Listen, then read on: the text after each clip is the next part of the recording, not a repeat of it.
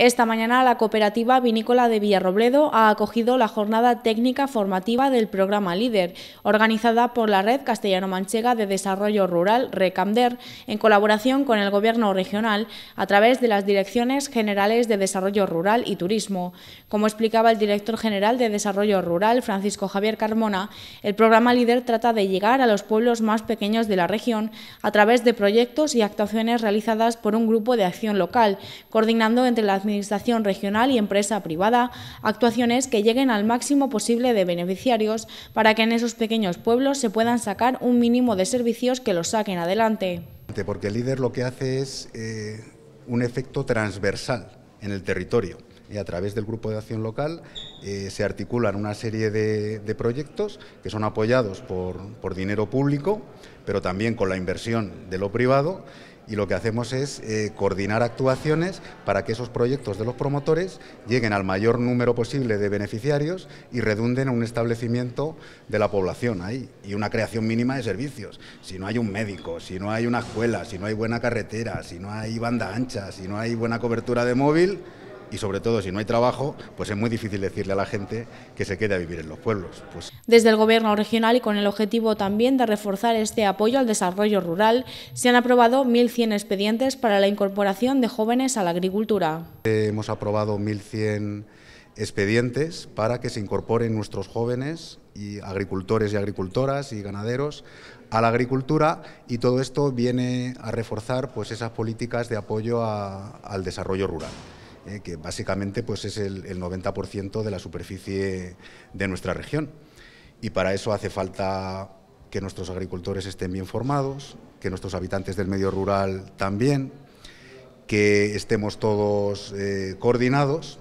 y que generemos sinergias que nos permitan decir que el medio rural de Castilla-La Mancha sigue vivo y va a estar mejor. Durante estas jornadas también se ha tratado la formación de los profesionales técnicos para, según el presidente de Recamder, José Juan Fernández, conseguir que los 130 millones de euros destinados al programa LIDER puedan multiplicarse por mucho en cada uno de los pueblos y que puedan desarrollar en ellos proyectos de vida en el entorno rural es fundamental. Y es fundamental que el personal que tiene los grupos, que los equipos técnicos, los equipos directivos estén formados. Y ese es uno de los objetivos que tenemos en esta nueva programación, que es eh, tener una programación de formación continua a los grupos que puedan hacer que esos 130 millones de, de euros de presupuesto que cuenta el programa líder para esta programación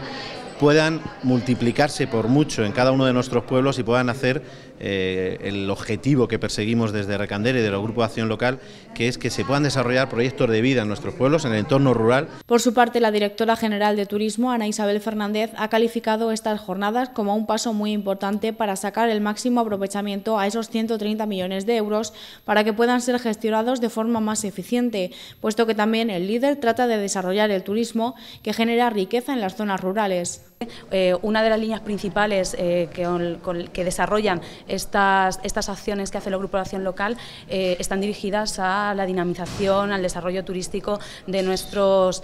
pueblos, de nuestras comarcas, de nuestras zonas rurales, porque en definitiva el turismo es una oportunidad de desarrollo y de generación riqueza en Castilla-La Mancha. Desde la Dirección General de Turismo también se ha presentado el Plan Estratégico de Turismo de Castilla-La Mancha 2015-2019, que cuenta con 39 líneas de actuación y cuatro planes operativos que tienen como objetivo posicionar a Castilla-La Mancha en el pico de la oferta turística a través del fortalecimiento de la calidad, información y consolidación de la marca Castilla-La Mancha, un lugar de tu vida, fomentando la competitividad del destino y todo ello basándose en la colaboración público-privada pues comentar cuáles son los objetivos, los retos eh, de este plan, que no es otro, bueno, pues que volver a posicionar a Castilla-La Mancha con una oferta turística especializada, eh, diferenciada, fomentando la competitividad del destino, fortaleciendo la calidad, eh, la formación, la innovación bajo una marca turística consolidada ya como es Castilla-La Mancha en un lugar de tu vida y sobre todo basándonos en esta colaboración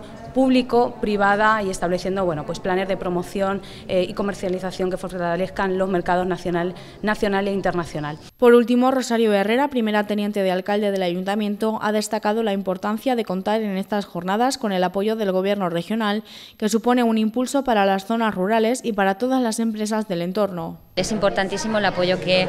recibimos de, de, la Junta de Comunidades, lógicamente, para el desarrollo de este tipo de programas que, como digo, supone un impulso para las zonas rurales y un impulso para todas las empresas de nuestro entorno.